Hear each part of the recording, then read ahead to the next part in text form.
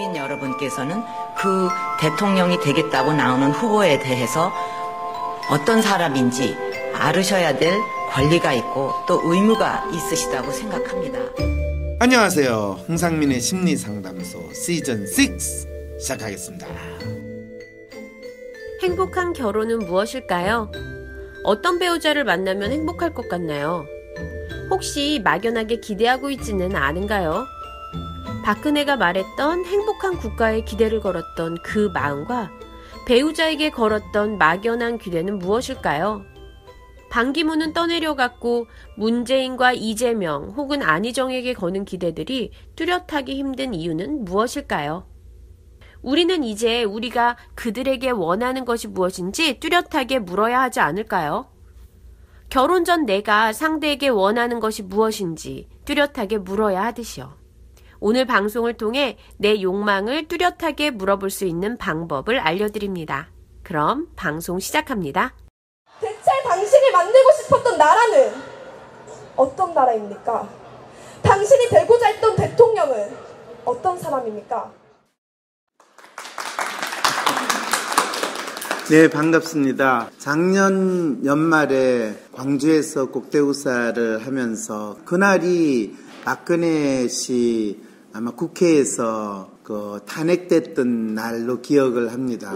그래서 뭔가 아 세상이 이제 바뀌는구나라는 상당히 기대도 하면서 어, 어떻게 될까라는 생각을 했는데 그 사이에 뭔가 좀 변화가 있었을까요? 사실 그렇게 이야기하면 상당히 허탈한 마음을 들게 하는데 그게 왜 일어날까라고 하면 어쩌면 우리 스스로 우리가 처하고 있는 상황 자체에 대해서 정확하게 이게 무슨 일인지 또 어떤 상황인지에 대해서 스스로 뭐 그 문제를 분명하게 인정하고 또는 확인하고 또 그 문제를 앞으로 어떻게 하면 해결할 수 있지라고 생각하는 그런 생각이 잘 이루어지지 않아서 그렇지 않을까라는 생각을 많이 합니다. 개인이 자기 문제를 좀 더 명확히 알게 되고 문제 상황을 인식하고 인정할 수 있다면 그걸 해결하려고 노력하려는 또는 해결하려는 마음이 뚜렷이 생기고 또 해결할 수 있는 나름대로 길을 찾는데 그런데 대개의 경우에 이 사회나 국가적인 이슈가 된다면 내가 그거를 바꿀 수 있기보다는 누군가가 특히 대통령이 될 어떤 사람이 그걸 해결해 줄 거라고 기대하다가 어떤 분이 대통령이 됐을 때 정확하게 4년 내지는 5년 동안 사기를 당했다라는 사항이 또 반복됩니다. 라고 제가 지난 십몇 년, 거의 한 15년 동안 연구를 하면서 반복적으로 그거를 확인을 했어요. 그래서 저는 개인 문제를 나름대로 해결할 수 있는 길을 찾고 그걸 개인에 또 적용해서 어떻게 각 개인이 자기의 삶을 좀 더 바꿀 수 있는 그런 이야기들을 주로 상담을 통해서 많이 했는데 이게 단순히 한 개인에 끝나는 게 아니라 사회적인 국가적인 차원에서도 얼마든지 가능한데 왜 그거를 못하고 있을까? 그걸 할 수 있는 길을 여러분들하고 공유하고 또 찾아보자라는 측면에서 그 취지에서 또 그 목적에서 이 모임을 여러분들하고 같이 하고자 합니다. 황심소에서 셜록황이 자주 하는 말들이 있죠. 진짜 문제가 뭐죠? 노예의 심리인가요? 당신의 욕망이 무엇입니까? 개인의 문제와 사회의 문제는 결코 다르지 않아요. 많이 들어보셨죠? 금방 셜록황이 한 말들에도 이런 질문이 모두 담겨 있었답니다. 그런데 이 말들이 의미하는 것이 무엇일까요? 이 질문들의 명확한 의미를 이해하게 된다면 당신의 문제도 우리의 문제도 더욱 쉽게 해결될 수 있답니다. 진짜 문제를 찾는 법과 주인의 마음으로 살 수 있도록 깨어나는 시간 황심소. 광고 듣고 계속됩니다.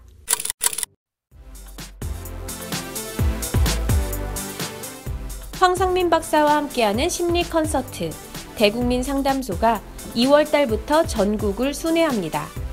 마음 읽기를 통해서 나의 문제를 해결하는 실마리를 찾고 함께 공감하는 시간을 보다 많은 청취자와 공유하기 위한 이벤트입니다. 혹시 딱히 불만은 없지만 이렇게만 살려고 태어난 건 아닌 것 같은데 싶은가요? 아니면 어떻게 해야 할지 몰라 답답한데 상황은 안 좋아지기만 하나요? 내가 누구인지, 뭘 원하는지 좀 더 명확하게 알고 싶나요? 그렇다면 대국민 상담소에 와서 황상민 박사와 이야기해 보세요. 대국민 상담소는 라이브 버전으로 황심소를 경험하고 싶으신 분, 나의 고민에 대한 증문즉답을 얻고 싶으신 분, 황상민 박사의 심리 콘서트에 가고 싶었는데 가지 못하신 분, 다른 사람의 고민을 통해서 나를 돌아보고 싶으신 분들을 위한 시간입니다. 서울 대국민 상담소는 2월 19일부터 매주 일요일 저녁 6시에 서초역 카페 프리덤에서 열립니다.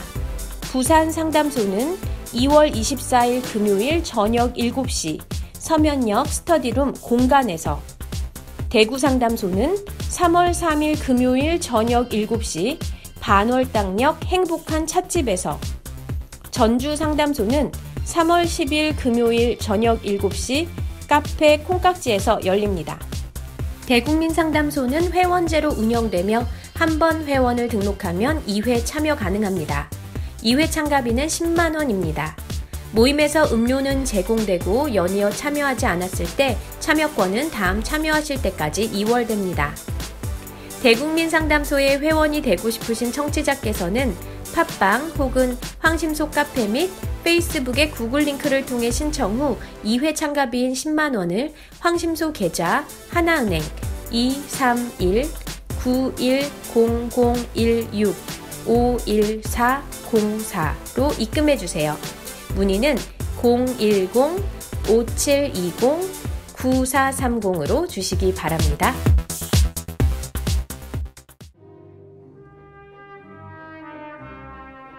그림을 그리면서 WPI를 배우고 싶으신 분들을 위해 황상민 교수의 제자인 전혜원 심리학 박사가 연세대학교 미래교육원에서 WPI 발상과 표현심리 과목을 개설합니다. 전혜원 박사는 전직 뉴욕화단의 전속 작가이며 교육자였고 현재 위즈덤 센터 전문위원으로 활동하고 계십니다. WPI 발상과 표현심리는 WPI와 미술을 접목시킨 수업입니다. 각 개인이 갖고 있는 성격적 특성이 삶에서 어떤 방식으로 표현되어지는지를 알고 유형별로 나타내어지는 예술 표현적 특성을 자신이 그림을 그려가면서 발견해가는 시간이 될 것입니다. 그림을 잘 그리는 것과는 상관이 없습니다.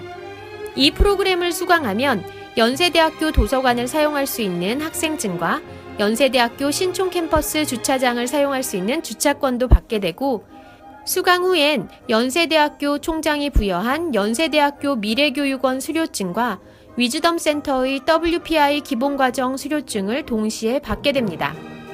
더불어 위즈덤 센터의 WPI 심화 과정을 들을 수 있는 자격이 부여됩니다. 수강 신청 기간은 2월 6일부터 2월 28일까지입니다. WPI와 그림을 그리면서 자신을 알아가고 싶은 분들의 수강 신청을 기다립니다. 이번 학기부터는 학부모반도 개설되었습니다. 자세한 문의사항은 연세대학교 미래교육원 홈페이지 일반 교육과정 심리상담 부분을 참조하시기 바랍니다. 여러분들이 오늘 이 자리에 와서 아예 처음부터 자기 소개를 하시면서 제가 아주 중요하게 이 나라에서 이런 것들이 이루어지고 이런 나라가 됐으면 좋겠습니다.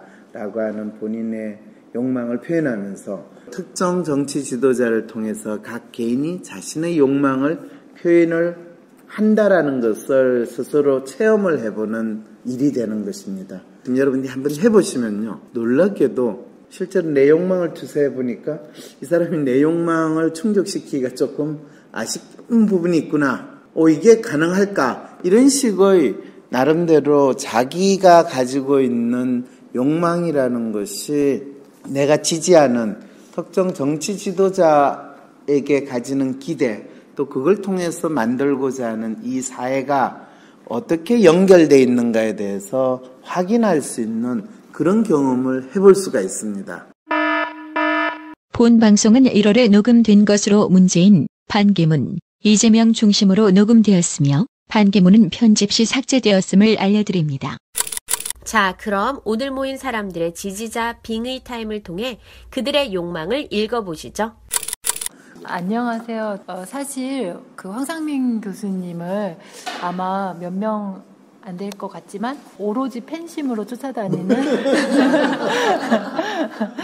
어, 몇 안 되는 어, 희귀 인간 중에 한 명이라고 생각하고요. 흔히 몇안 된다고 지금 아니 아니. 지금 아, 그러니까, 그러니까 저는 오로지 팬심으로. 오로지 팬심으로. 얼굴 네. 보고 얼- 얼굴 보고 쫓아다니는 사람 없어요 사실. 그러니까. 그러니까 잠깐 고민을 했는데요. 어, 그러니까 제가 이제 일단 문재인 씨 지지자라고 하면요. 네. 그러니까 문재인 씨는 사실 제 아이였으면 좋겠어요. 일단 선하고 남한테 피해는 안 끼칠 것 같고 어디 가서 모난 짓 안 할 것 같고 엄마 말 진짜 잘 들어줄 것 같거든요. 네. 그런데 어 지금 어 제 집에 뭐 강도가 쳐들어오고 제 집이 뭐 무너지고 불이 났고 이럴 때 어, 내 아이가 나한테 든든함을 줄까라고 생각했을 때는 전 그렇게 생각이 잘 안 돼요. 좋은 건 다 가졌는데 정작 내 문제는 해결 안 해주고. 내, 내 아이였으면 좋겠는데 네. 어, 려운 문제 앞에서는 내 아이를 내보내고 싶진 않잖아요. 이재명 씨 같은 경우는요. 어, 아, 정말 얘 좀 어려워라고 생각될 수 있는 아들이긴 한데요.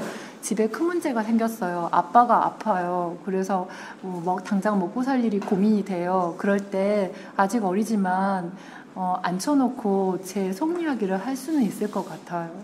그리고 또 하나는 왜냐하면 좀 한편에서 든든한 마음이 있거든요. 거의 소년 소녀 가장의 역할을 할 수 있는 네, 그거 엄청 다칠 수도 있고 엄청 그렇죠. 그 힘들 험한 일을. 저는 노무현 대통령을 잃었기 때문에 네 다시는 어, 잃고 싶지 않았거든요. 그렇죠. 내가 아끼고 사랑하는 사람을 어처구니없이 잃게 되는 일은 하지 말아야 된다. 네, 그래서 너무 착하고 너무 선한 사람한테 또다시 난전 제2의 놈을 만들고 싶지 않아요. 그러니까 그렇죠. 맷집 좋고 독하고 그 가끔 못 되고 네. 그래서 이재명 씨한테 시키면 딱 좋겠다 이렇게 생각했거든요. 이재명 씨는 좀 못됐군요. 아니 그그 근데요 못 되더라도 제가 적이라고 간주하는 사람들한테 싸워 이길 가능성은 가장 높아요. 그 오. 사람들한테 못된 거지. 그렇죠. 제가 원하는 걸 들어주는 면에서는 안 못된 거죠. 오. 능력 있는 거죠. 그렇군요. 사실은 MB 대통령을 뽑을 때 대한민국 사람들은 어, 우리를 잘 살게 한다라는 그 심정으로 뽑았거든요.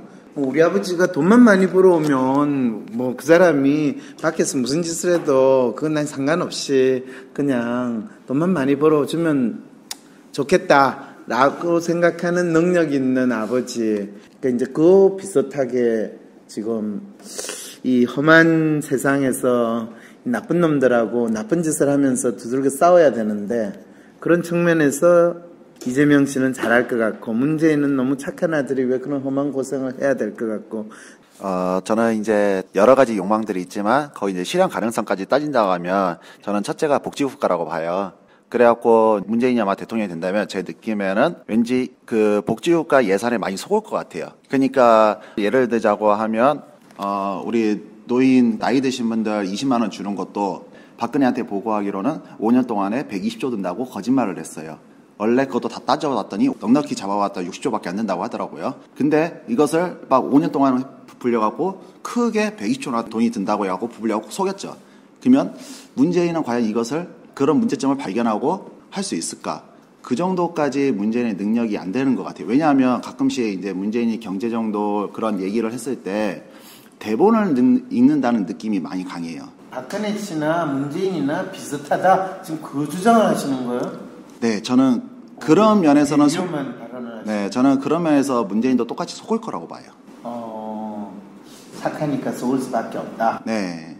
그리고 이재명 시장 같은 경우는 실제로 지금 현재 뭐 전체 예산의 5%를 복지에 썼는데도 상당히 호응을 많이 받고 있어요. 그래갖고 성남시로 이사 가고 싶은 도시로 지금 뽑히고 있는 도시 중에 하나죠. 그걸 봤을 때 저는 이재명 씨가 내 복지국가를 달성하는 데 있어서 실제 대통령이 된다고 하면 실현 가능성이 제일 높은 대통령이라고 봐갖고 저는 이재명을 씨를 조금 좋아는 합니다. 네. 음, 노골적인 것 같은데 그 옆에 계신 분 이제 한번 빙의해서 이야기를 해보자면 실은 저는 기본적으로 다 자질은 된다고 생각합니다. 나름 빗불 이상을 할 수 있을 것 같아요.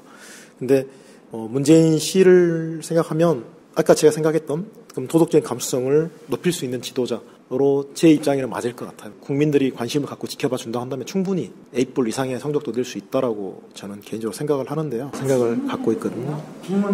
저한테요? 저는 현재 사안이요. 분명히 해결해야 될 문제들, 어, 적들이 있다라고 생각해요. 어, 그런데 그 적들이요. 어, 깡패, 살인범, 강간범, 이런 정도의 수준이라고 생각을 해봤을 때요. 저는 문재인 씨가 깨끗한 이미지를 분명히 갖고 있고, 분명히 깨끗한 부분들이 있는데, 지금 현재는 해결해야 될 어, 적폐들, 문제점들이 분명히 있는 상황이거든요. 그랬을 때 이 사람이 안 다치고 살아 돌아오겠는가? 그 사람들 앞에 가가지고 착하게 살아야 해요. 이렇게 말하면 들어줄 것인가? 라는 거죠. 그런 고민이 저는 절로 돼요. 예, 답변을 부탁드립니다. 실은 그렇게 유약하지 않을 것 같고요. 나름 강단은 좀 있을 걸로 보이고요. 그 이제 그분 말고 방금 말씀하셨던 다른 뭐 이재명 시장을 본다면 과격하죠. 그리고 강단 있죠. 근데 저는 좀 걱정되는 거는 그런 강하게 드라이브를 걸 수가 있는데 여차하면 독단으로 흐를 수가 있고요. 강하게 저하고 싸운 건 좋은데 너무 오버해가지고 아군을 오폭할 수도 있는 거고 피하 구분하지 못하고 그럴 위험성이 있는데 문재인 씨는 좀 그런 위험성이 좀 적지 않을까라고 저는 개인적으로 생각을 하고 있습니다. 예. 그러니까 저는 사실 정치에 별로 관심이 없거든요. 그리고 별로 관심을 갖고 싶지도 않아요. 그래서 그런데 어, 대통령 차기 대통령이 될 사람은 제가 이런 정치 문제에 관심을 안 갖고 제 삶을 잘 살아 가도 될 정도의 이성적인 판단을 해주고 이성적인 정책을 내놓는 사람이면 좋겠어요. 제가 개인적으로는 안희정 씨 지지하고 있고요. 왜 그러냐면 이렇게 인터뷰 같은 거 이렇게 들어보면은 이렇게 어떠한 사안에 대해서 대답하고 이런 것들이 제가 생각하는 어, 세계관과 잘 맞아 떨어지는 분위기 때문에 그런 것 같아요. 저는 생긴 것도 굉장히 이렇게 잘 생기셨고 안희정 씨가요? 네. 이야, 역시. 저는 황상미 선생님도 훨씬 더 낫게 예. 생겼다는 제가 진짜 받아들이기 힘드네요. 아, 그래요? 그러니까요. 그래서 저는 취향을.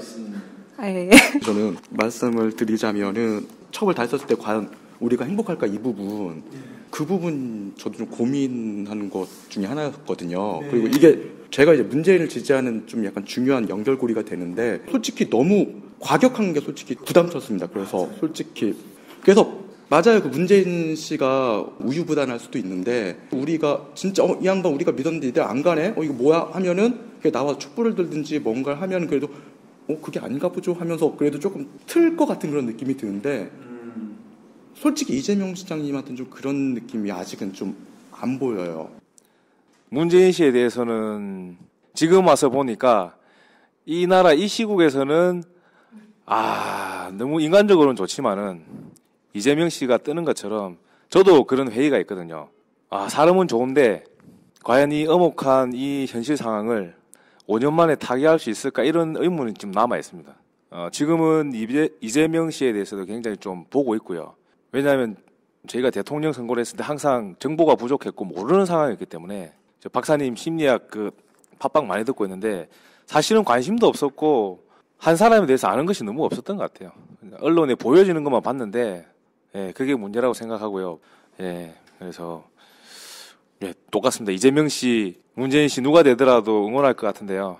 예, 예 끝까지만 하겠습니다. 예. 어, 저희는 사실 해결책을 원하는 거잖아요. 근데 지금, 어, 해결 방법을 갖다가 세 사람 내놓고 고, 고르라 그러는 거잖아요.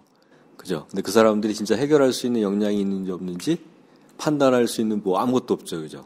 문제를 해결하고 앞으로 그래도 웬만큼 평범하게 잘 먹고 살 수 있는 그런 사회를 만들고 이렇게 불, 너무 불평등하지 않은 정도의 사회를 만들기 바라는데 어, 답안지를 딱 줬는데 그냥 고르라는 거잖아요. 근데 판단이 하나도 안 가죠. 그죠?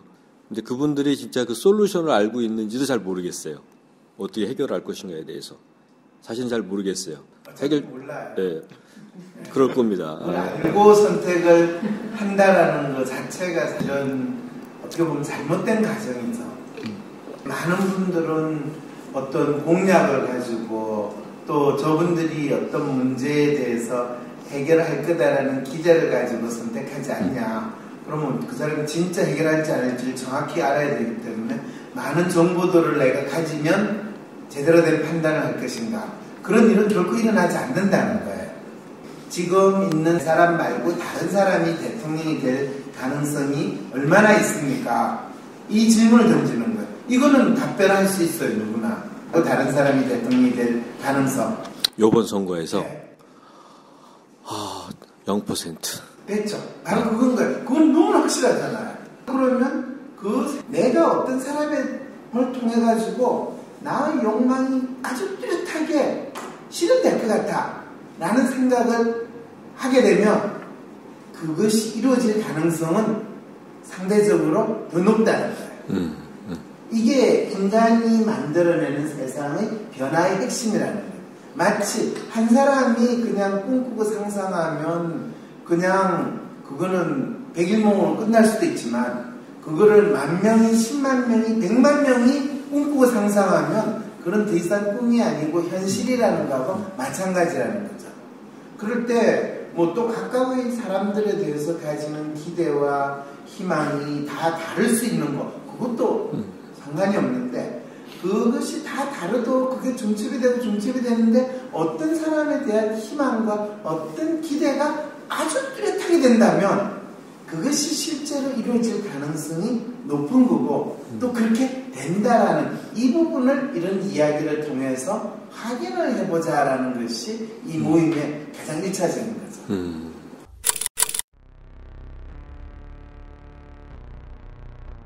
헬조선에서의 심리 독립을 돕는 방송 황심소입니다. 황심소가 더욱 많은 사람들의 심리 독립을 도울 수 있도록 후원해 주세요. 방법은 아주 간단합니다. 네이버에서 황심소 골뱅이를 검색해 주세요. 황심소 홈페이지 후원하기 메뉴에서 바로 신청 가능하십니다. 여러분, 팟빵 말고 황심소 홈페이지에서 꼭 후원해 주세요. 홈페이지 주소는 황심소.모두.at입니다. 안정적인 직장 번듯한 집과 차. 부자가 되면 행복할 수 있을까? 만약 대통령이 바뀐다면 그분이 날 구원해 줄 수 있을까? 힐링도 위로도 이젠 지친다고 하네 다들 문제 렁뚱한 데서 찾네 이거 다 거짓말인 걸 아시죠? 저는 속았습니다. 이제 속지 말고 황심소들을 차례 너와 날 제대로 알고 싶다면 남탓 그만하고 홀로 서고 싶다면 새로운 변화를 만들어 가고 싶다면 후원하기 클릭 황상민의 심리 상담소 팟빵 구독하기, 댓글 달기, 하트는 기본인 거 아시죠? 유튜브, 페이스북, 네이버 카페, 카톡, 인스타에서도 황심소를 검색해 주세요. 더욱 다양한 소식으로 찾아뵙겠습니다. 어, 여러분들이 진짜 문재인 씨나 이재명 씨에 대해서 빙의를 해서 여러분 개인이 바라는 나라 또 여러분 개인이 이 나라가 어떻게 더 잘 됐으면 하는 그 마음을 좀 더 표현을 해 주셨으면 하는 기대는 있었는데 어, 그거보다는 지금 이분이 어떻다라고 이야기하시는 그런 마음이 나타나는 걸 보면서 사실 심리학자인 저는 상당히 재밌게 생각을 합니다. 아까 아들로 비유를 하셨는데 저는 만일 내가 결혼을 하는 사람으로 나의 배우자감을 고르는 걸로 생각을 했을 때, 어, 내가 결혼을 하면 어떤 여자하고 살기를 바랄까요? 상당히 돈 많은 여자하고 결혼하기를 원할까? 아니면 돈은 뭐 내가 벌면 되니까 상당히 이쁜 여자랑 결혼하기를 원할까? 아니면 그렇죠 내가 생긴 걸 봤을 때는 이쁜 여자랑 결혼해야지 이세가 아무래도 조금은 낫지 않겠습니까? 그렇게 생각할 수도 있는데 뭐 어차피 이쁜 사람하고 결혼해봤자 한 1, 2년 지나면 별로 표시도 안 나는데 왜 익숙해지면 뭐 또 인물 가지고 먹고 살기도 그러니까 성격이 아무래도 좋아야지 뭐 평생 동안 잘 그걸 해주지 않겠냐 이럴 때 어떤 게 가장 저한테 어떤 걸 선택하는 게 저한테 잘 맞을까요? 어떻게 보면 마치 내가 내 결혼을 하는 배우자를 선택하는 그 상황에 있을 때 나는 저 사람한테 무엇을 바라는가 우리는 분명하게 생각하고 또 그걸 의식을 하고 저 사람을 통해서 나는 이거를 원한다 라는 걸 충족시킬까 라고 하면요. 참 한국 사람들은 재밌게도, 아, 이 자기가 원하는 걸 그 사람한테 뚜렷하게 충족시키기보다는, 아니, 뭐 내가 사실은 인물 괜찮은 사람을 찾도 원하는데, 아, 인물 최고로 괜찮은 사람이 내하고 결혼을 하겠어? 그러면 웬만한 사람, 인물 웬만하면 돼요. 아, 그럼 또 어떤 사람, 야, 그래도 좀 상당히 돈이 많은 사람하고 내가 결혼을 하기를 원하는데, 또 돈 많은 여자가 굳이 또 내하고 결혼할 것 같지 않으니까, 그냥 웬만한 사람하고 또 결혼할 수밖에 없어요. 그리고 성격이 진짜 좋은 사람하고 결혼하고 싶은데, 성격이 진짜 좋은 사람은 왜 내하고 결혼을 할것 같아요? 그럼 또 웬만한 성격의 사람하고 결혼해요. 그럼 그 세 가지 다 합하면, 인물 그냥 웬만하고, 성격 웬만하고, 그냥 돈 웬만하게 있는 사람하고 결국은 내가 결혼해서 살면 그 사람은 자기가 선택한 배우자에 대해서 만족을 하면서 살 건가? 자기의 삶을 포기하지 않는 인간은요, 뭐, 진짜 얼굴 보면 내가 왜 저 인간하고 결혼했지 싶은 생각 들고, 또 뭔가 서로 마음이 안 맞으면 저렇게 성질 지랄 같은 사람하고 내가 왜 결혼했지 생각 들고, 경제적으로 좀 힘들면 왜 내가 저거 이 형편이 안 되는 사람하고 결혼했지? 하나도 내를 만족시켜주는 게 없는 상황에 처하게 돼요. 아니, 그러면 돈 많고 인물 좋고 성격 좋은 여자 찾아가지고 결혼하면 되잖아. 지금 저 다시 답해도 돼요? 아, 이제. 제 머릿속에 결혼이라는 게 없어서. 그렇죠. 저는 혼자 네. 사는 게 좋기 때문에. 아, 혼자 사는 게 좋대. 그래도 아, 대통령 근데- 뽑아야 돼. 그래도 결혼 어, 해야 만약, 되는 거지. 만약 결혼한다면 내가 나답게 행복하게 사는데 도움이 되는 사람. 그래요. 바로 그게 제가 지금 어쩌면 정답이라고 생각을 믿고 있고 또 많은 분들이 그 생각은 한번 공유를 해줬으면 좋겠어요. 라고 사실 이야기를 나누고 싶어요. 근데 거기에는 어떤 본질적인 문제가 또 내재하고 있는지 알아요? 일단 내가 나답게라고 살, 하는 게 뭔지를 알아야 네, 되는 그렇죠. 거죠. 내가 어떤 네. 사람인지, 내가 어떤 걸 좋아하고 어떤 걸 원하는지를. 이제 이런 문제가 어쩌면 지금 우리 지도자 중에 어떤 한 분이 우리 대통령이 된다고 했을 때 내가 나의 욕망을 그분을 통해서 충족시킨다면 나는 진짜 어떤 나라에서 사는 사람이 되고 내가 사는 나라가 이랬으면 좋겠다라는 것을 상당히 구체적으로 상상을 할 수 있고 그것이 내가 마치 어떤 분하고 결혼을 해서 어떤 사람하고 결혼을 하면 좋을까? 그리고 그게 내 삶이 진짜 될까라는 것을 상상을 할 수 있는 거하고 마찬가지인데 아까 결혼하셨잖아요. 그죠? 결혼하실 때 남편 되시는 분하고 왜 결혼하겠다라는 생각을 하시게 되셨어요 제가 좀 편하게 살 수 있어요. 그렇죠. 내가 편하게 살 수 있었어. 어, 그것도 훌륭한, 그죠. 결혼을 그래서 그 생각을 하고 결혼을 했더니 편하게 살고 있어요, 지금? 네, 편한 부분. 안 편한 부분도 있다는 이야기네, 그러면? 그렇죠. 네, 그러면 플러스 마이너스 해서 편하게 산다는 목표에 가까운 것 같아요. 아니면 약간 손해보는 것 같으세요? 어, 그럼 성공하셨네요.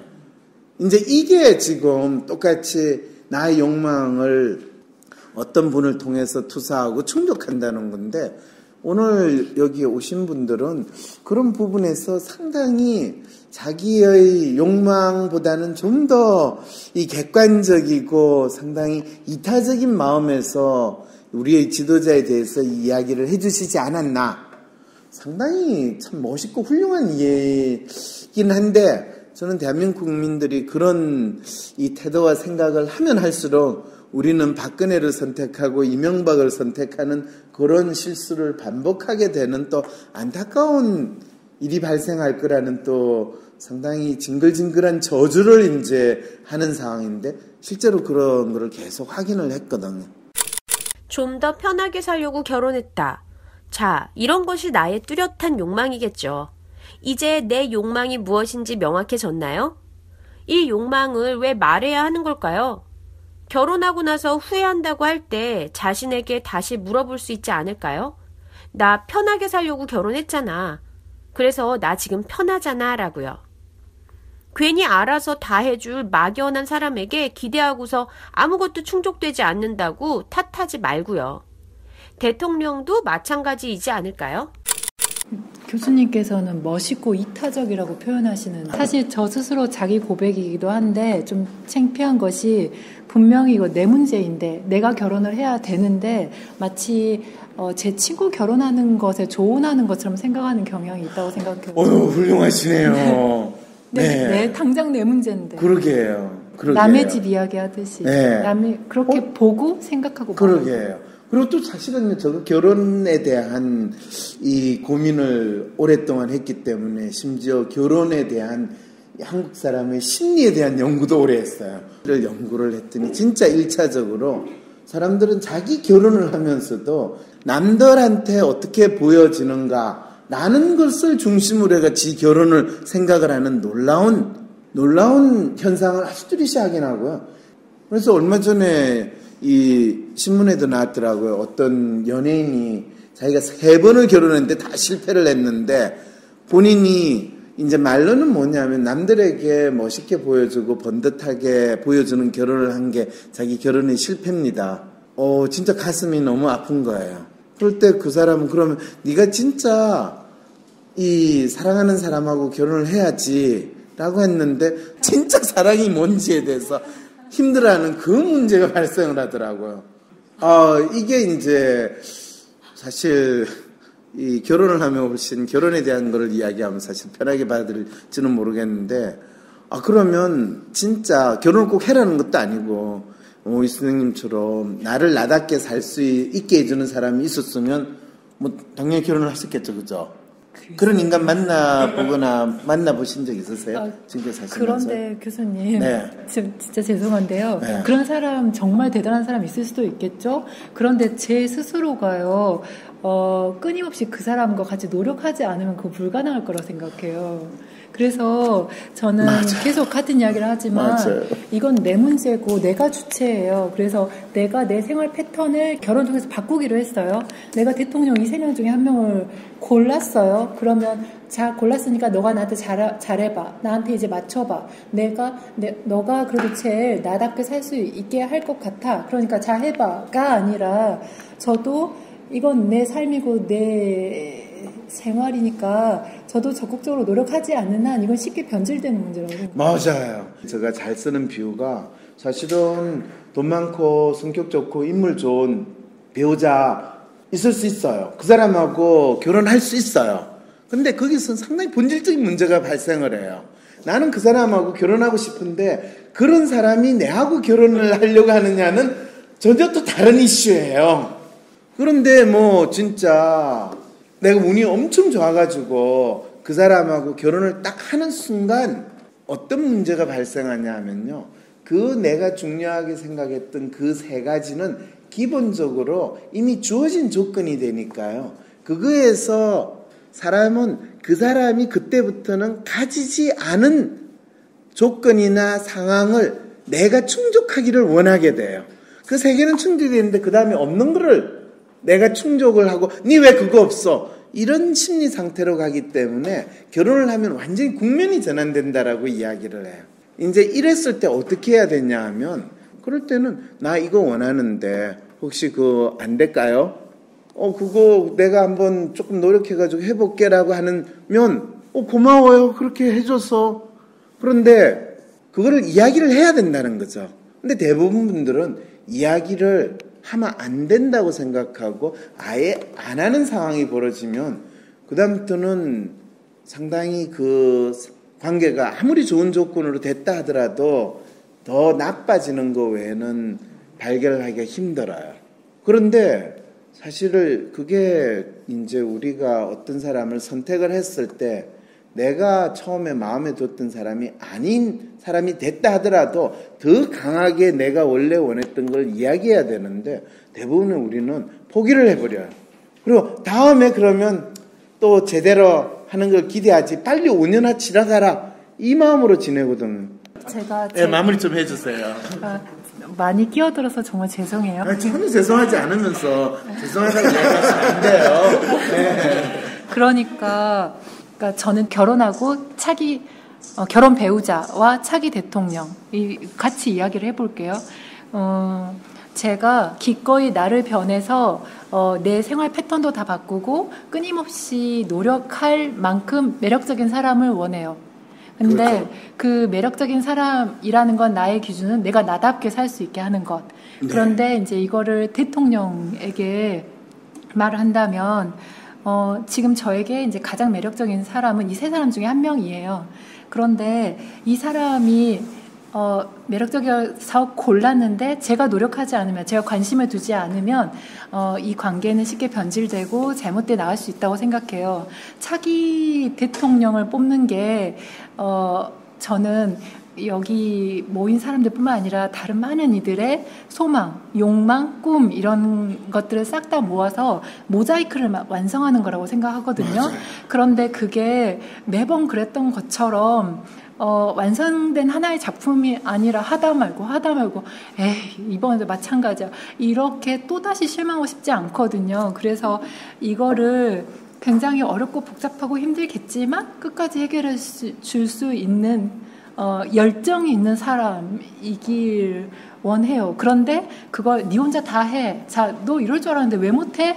라고 노무현이 됐을 때 무수한 언론들이 어, 물어뜯고 씹고 즐기고 모든 게 노무현 탓이- 탓이라고 말할 때 저는 그때 침묵했거든요. 음, 고 스스로 자책했거든요. 그렇죠. 가슴이 아프죠. 사실 네. 그렇게 하고 싶지 않아서 맞아요. 어, 저는 어, 이불 속이 가장 안전하다고 생각하는 M자형 아이디얼리스트이지만 여기 나왔어요. 네. 근데 그러다 보- 보니까 감정이 막 너무 이렇게 앞서서 저답지 않게 오늘 말 너무 많이 해서 죄송해요. 대통령을 뽑는 심리와 결혼을 하는 심리가 같은 패턴으로 이루어지는군요. 결혼에서 가장 중요한 것은 남의 눈에 번듯한 것이 아니라 내가 상대에게 무엇을 원하느냐를 뚜렷하게 하는 것. 그리고 결혼 후에도 원망하거나 포기하지 않고 나의 바뀐 욕망을 인정하고 내가 원하는 것을 뚜렷하게 말하고 끝까지 내 삶에 또 내 결혼의 주인으로 사는 것이라면 대통령 선거도 마찬가지가 아닐까요? 함께 퍼즐을 맞춰가듯 우리의 대통령도 함께 뽑고 그 퍼즐을 포기하지 말고 완성해 나가는 것이 내가 원하는 나라를 만드는 길이 아닐지요. 오늘 이 선생님 말씀 너무나 저보다 더 명확하게 잘 설명을 해줬어. 어, 역시 저희 이 아까 뭐라 그랬어? 빠는 아니었고 저희 팬심머로 저하고 소통하시는 분은 역시 수준이 달라. 황심서의 수준 듣는 분 수준이 이렇게 훌륭하시구나 이걸 다시금 느꼈는데 일단은 얘기를 듣고 정리를 좀 제가 개인적으로 해봤을 때는 일단은 합의인 것 같습니다. 결혼하셨어요? 아닙니다. 그렇습니다. 이제 결혼 안 하신 분이 이상적으로 그렇게 생각하시고 예, 예, 근데 이제 이 합의는 항상 한 사람의 기준에서 이루어지는 합의지 뮤추얼리 합의가 되는지에 대해서는 저는 항상 의문이에요. 큰 틀에서 인간으로 봐야지 자기 본인의 남편을 막 아내 남편 이렇게 보지 말고 동등한 인간으로 서로 생각하는 그런 관점에서 출발하면은 맞을 것 같아요. 서로 네. 양보하고 배려하지 않으면 합의가 안 된다라는 말로 저는 들려요. 사실 당연히 그런 게 전제가 그러니까. 합의라고 표현은 되지만 양보 배려가 전제가 꼭 돼야만 한다면 어느 부분에서 일정 부분 포기한다는 거죠. 어 그래서 그래서 이 지금 일반적인 통념으로 부부 간의 합의를 서로 양보하고 배려하는 합의를 하십시오라는 아주 좋은 말씀을 많이 우리는 듣잖아요. 그런데 실제로 그 이야기를 듣는 분은 내가 그거를 하- 이루기 위해서 포기하고 손해를 본다라는 것이 실제의 또 경험으로 나타나거든요. 결혼 안 하신 분의 입장에서 결혼하신 분을 볼 때는 그렇지만요. 실상은 한쪽이 다른 한쪽이 일방적으로 수용하고 승복했기 때문에 이루어진 거지. 교수님, 근데 우리가 이제 보통의 부부 관계들을 보통 이제 포기하면서 많이들 살고 하시잖아요. 근데 근데 그걸 포기라고 하지 말고 나는 상, 상대방을 사랑하는 마음으로 무조건적인 수용과 인정을 한다라고 생각합니다. 방송용 같아. 아니 방송용이 아니라니까요. 아니 근데 이제 저는 이제 수용을 하신다고 하는데 저는 이제 교수님 WPI를 이제 조금 배워봤잖아요. 네. 그러니까 저는 와이프를 바라볼 때 와이프의 성향을 알잖아요. 그렇죠. 그러니까 이해를 하게 돼요. 그러니까 그렇죠. 수용하고 이해하고 조금 약간 좀 틀린 것 같은데 이해를 하게 되니까 와이프가 아 저런 행동을 하면 아 그냥 저 성향이 자체가 저러니까 그렇죠. 그냥 어쩔 수 없구나 저것은. 그렇죠. 그게 수용이에요. 아 그게 수용인가요? 네. 수용이라는 어쩔 수 없이 받아들인 이게 수용인 거예요. 자기가 거부할 수 있으면 거부라고 그러지. 이 간단해요. 예. 우리 근데 합의로 돌아가서. 합의. 예. 그래서 그 저는 합의라는 표현 자체가 어쩌면 우리가 이상적으로 합리화하기 위해서 사용하는 단어지 실제로 인간의 마음에서 작동하는 방식이 아니라는 것을 제발 좀 꼭 꼭 그, 그 부분은 생각을 했어요. 그래서 사실은 왜 있냐면 우리가 정의라는 것을 이야기를 할 때요. 정의는 사실 서구 사람들은 정의는 합의예요. 서로 합의되는 것이 정의예요. 근데 이 동양 사람들이 생각하는 정의는 절대적인 선이라는 것을 정의라고 생각을 해요. 이럴 때, 이, 그, 하바드 교수가 쓴 정의란 무엇인가라는 책이 대한민국에서는 거의 80만 부가 팔렸어요. 미국에서 다 팔린 책이 10만 부도 안 팔렸어요. 전 세계에서 가장 많이 그 책이 팔린 나라가 대한민국이거든요. 그런데 놀랍게도 대한민국 사람들이 그 책을 읽어보고 정의에 대해서 알았다라고 이야기하시는 분은 거의 제가 만난 적이 없어요. 그래서 우리가 항상 아주 멋있게 이야기하는 합의를 이야기할 때 그거는 그냥 개념적으로 그래서 아까 제가 결혼하셨냐고 물어본 거예요. 결혼의 합의를 이야기할 때 저분은 결혼 안 했으니까 저런 소리를 하지. 결혼하신 분, 결혼의 합의라는 거에 대해서 어떻게 받아들이십니까? 그러니까 질문을 대답하려고 말았는데요. 네, 그래요. 안 하셔서 제가 계속 웃는 거예요. 그냥 웃고 있었는데 진정한 합의는 해본 적이 없는 것 같아요. 솔직히 말하면. 음, 너무 큰 네. 제가 져줬을 때 둘 다 행복했던 것 같습니다.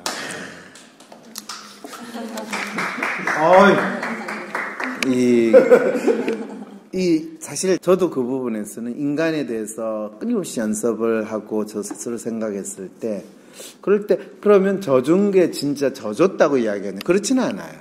저는 수용이라고 이야기를 해요.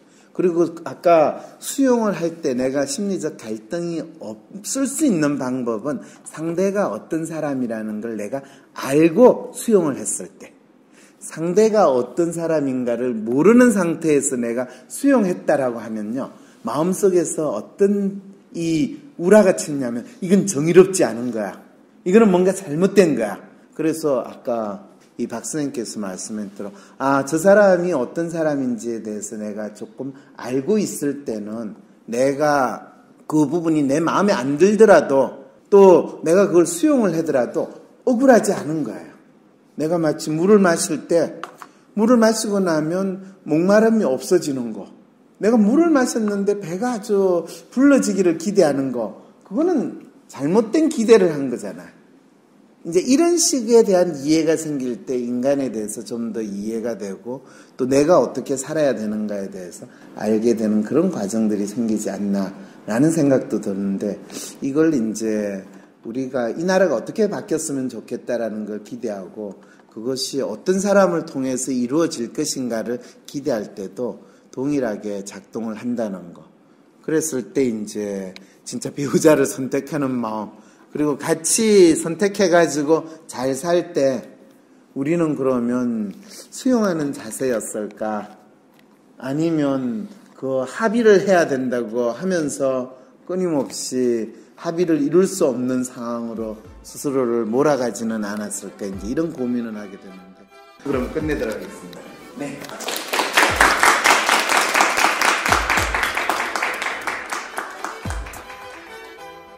행복한 결혼을 위한 비법과 행복한 나라를 만드는 비법이 오늘 대방출된 것 같은데요.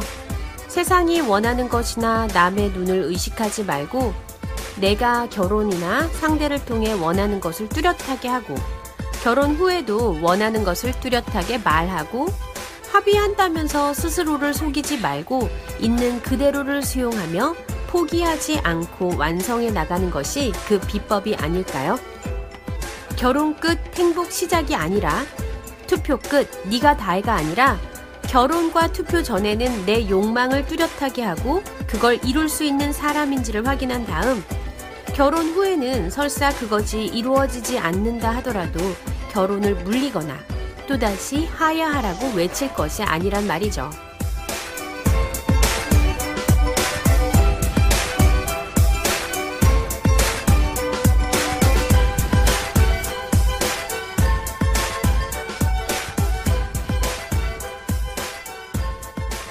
기획 작가의 서재영, 편집의 이지연, 나레이션의 노재영,